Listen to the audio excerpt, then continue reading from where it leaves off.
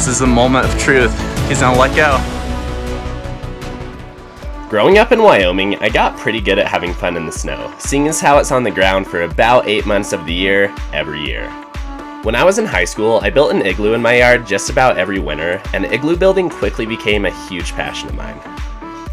Ever since then, I wanted to build an igloo right in front of the Grand Tetons, which would probably be the most picturesque igloo scene imaginable.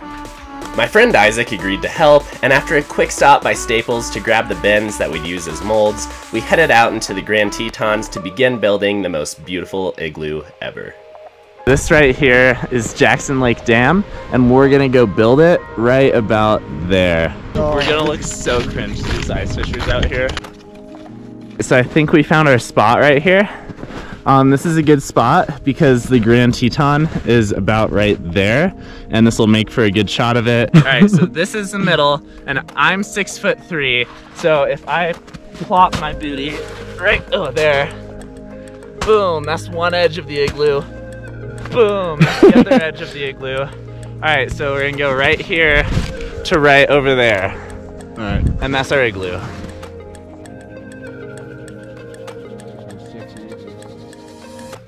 So we're just gonna build right around that ring and it's about six feet. So hopefully that should be good. So what we're doing now, we're taking all the snow from there. We're gonna start building blocks around this foundation, around the circle. And that's a really, really important step because it kind of sets the foundation for the whole structure. And uh, if we get that right, it's, it's hard to, to fail.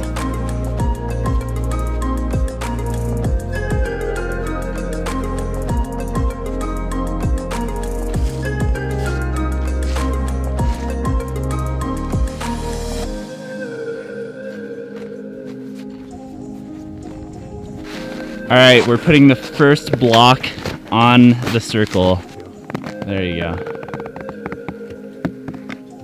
Nice. like a glove. You just gonna keep filming or you, you gonna help me? Come on man, let's get to work.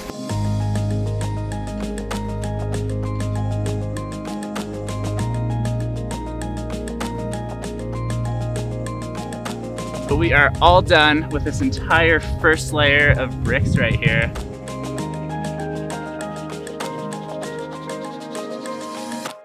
What we need to make next is what I call the minefield of bricks. We have three here right now, and we need to just line up a ton more bricks in rows, and then they'll harden overnight. We'll come here tomorrow, and then scoop them up with a shovel or machete, and put them on top of the main igloo, and spiral it up, so. How are we gonna scoop them up with a machete? What are we, a hibachi chef? The next thing we need to figure out is how many bricks we need to make to put in the brick minefield.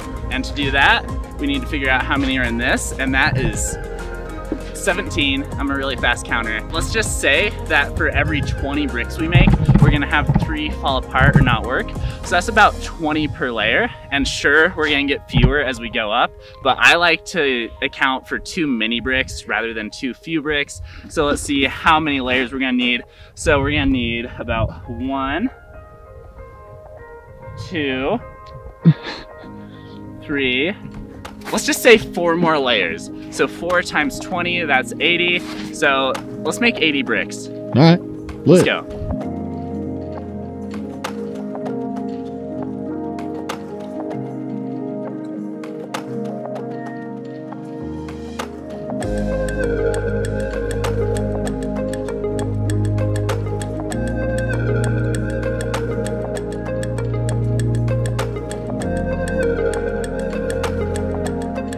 We are all done with our first 21 bricks. 21 because Isaac is stupid and put number 11 right here instead of starting a new row of 10. Dude, you look like some kind of like LA urban filmmaker dude who like wears ripped black jeans, bounces between Bali and Venice Beach, and skydives with Sam Kolder on the weekends. Okay.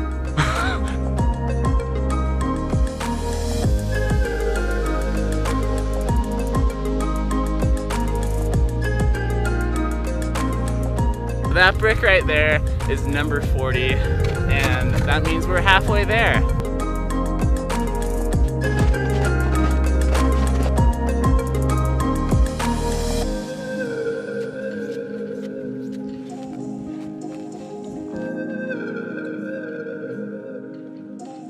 Oh dude, the Tetons are starting to come out. So let's throw a time lapse up for the people.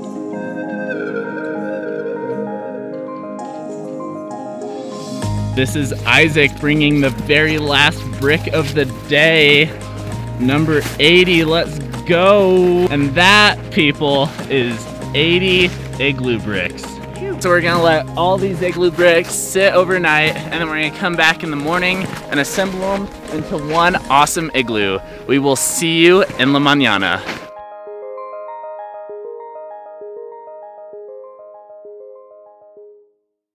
Are back here at the Jackson Lake Dam today, and honestly, my biggest concern is that somebody messed up the blocks or something. They are there, and we are all good. You look ready to go do a draw at high noon at the town square. How'd you know about that? Nice.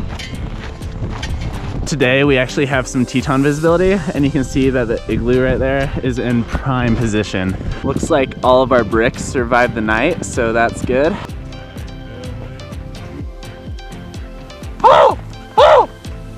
What are you doing? Talking to the ravens, they just flew by. They're super intelligent. We're communicating. So last night, all these blocks froze solid. They are very hard. They feel almost like ice. So what we're gonna do today is take the shovel,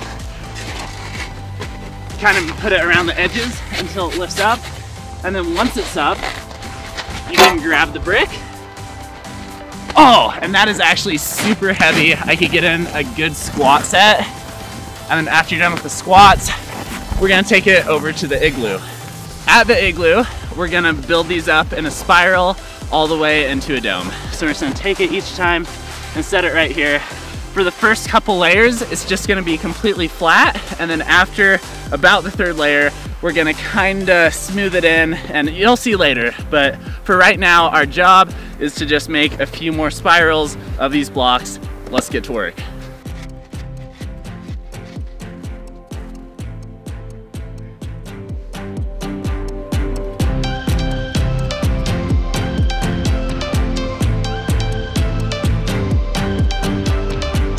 There's always gonna be a few bricks in your pile that just don't end up right. They're just kind of come up weird. And that was the case with this one right here. You can see it kind of fell apart at the bottom. And when that happens, you're gonna use these to fill in the holes in your circles where it doesn't require an entire brick, but just a tiny piece. So with this guy, I'm actually just gonna chop it in half. And now let's take a piece like this and go over to the igloo. So where I finished the row, right here, an entire brick wouldn't fit. So I'm just gonna take this guy and kinda stuff it in there just like so, and boom, we have that whole row complete. All right, so in some of these spots right here, you'll see that there's pretty big gaps. So all I'm gonna do is just kinda get some random snow lying around with my shovel and just kinda use that to fill in the gaps. And then you can just use extra snow to kind of pack around that and seal it.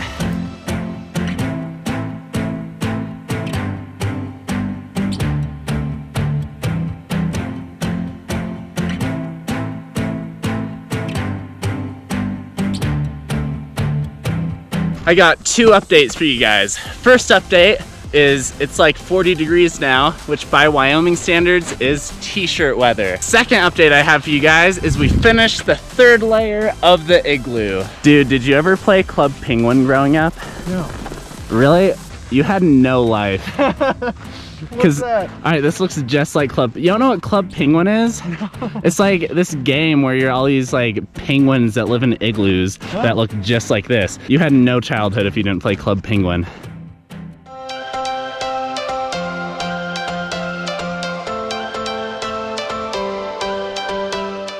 I am all done making this level right here nice and smooth and ready for the next layer. The problem is this thing is pretty tall and despite being six foot three, it is pretty hard for me to get out. So let's do my best high jump. I'm going to be so mad at myself if I mess up this wall. I will be too. Isaac will be too. Here we go. Oh, made it! Woo! Kobe.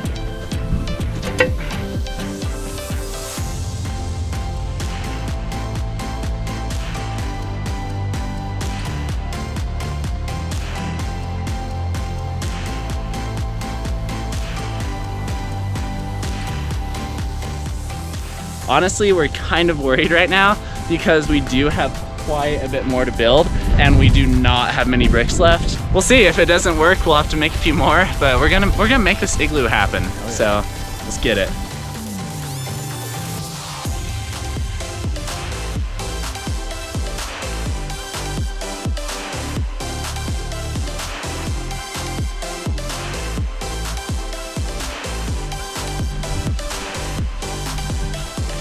Shaving there? Shaving. Using your uh, Gillette?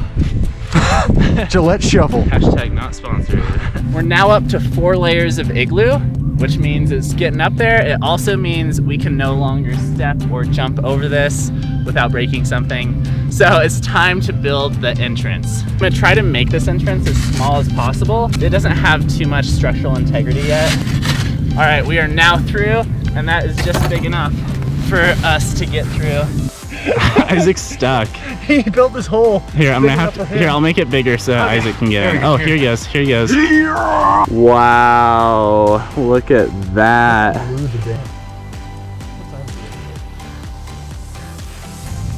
Dude, you look like some kind of little gopher popping up out of the hole. Got with the shovel, you just go BAM as it pop up. I barely fit my dump truck through that hole back there. I finally got out. Isaac is dummy thick. So I think the best idea would be for you to just hand them over and I'll get in there and keep assembling them. The steeper the angle, the harder it is to keep them up. So I'll need to be even more careful with my geometry.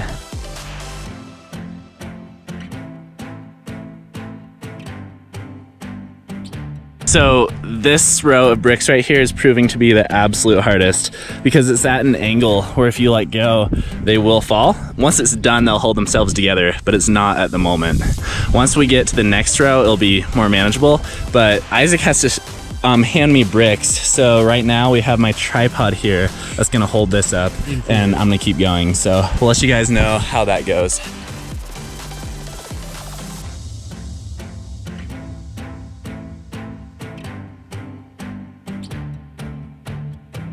We just finished the highest layer. That's gonna be really hard because from here on, I can kind of manage it on both sides and it makes it a little bit easier. So I'm really happy we have this layer done.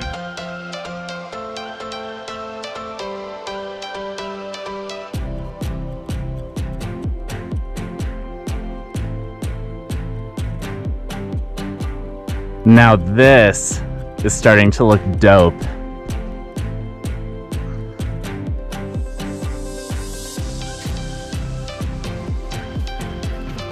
Isaac is sliding them bricks in like he slides into them DMs. All right, so I just slid in the last like four or five blocks inside the igloo.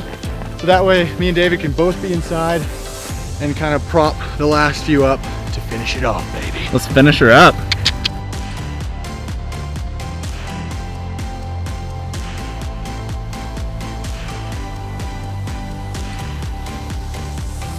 This is what trying to put the last few blocks on the igloo looks like.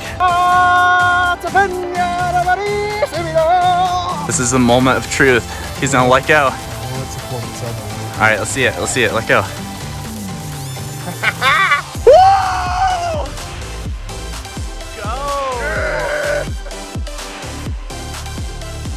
go. we did it. We finally finished the structure of the dome and it looks dope. So the next step in the process is I'm going to take this shovel and kind of make the entrance a little bit bigger, make a nice, good entrance tunnel. And then once that's up, we're gonna bring some bricks over here and line them out here and up and around to make kind of an entrance tunnel because tunnels are dope.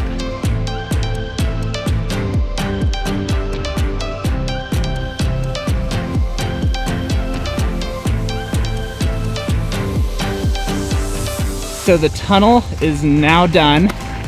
Um, it looks a little bit rough.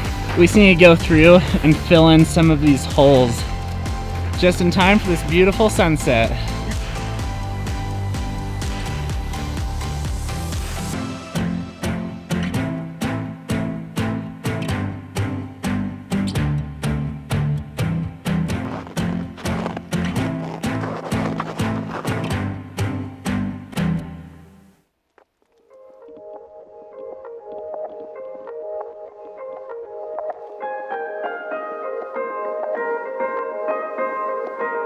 We built a fire in it that night and caught sunrise the next morning, and my dream of building an igloo in front of the Grand Tetons had finally become a reality. It might seem kind of stupid to put so much effort and time into something that'll come crumbling to the ground within a few weeks, but to us, it was all worth it. What made it especially worthwhile for us was seeing how much other people loved it. For weeks following, it was so awesome to see so many people tagging us on Instagram stories and taking amazing photos at it. This is so cool! So yeah, that's the story of our little igloo in the Grand Tetons. Maybe we'll have to do another one next year.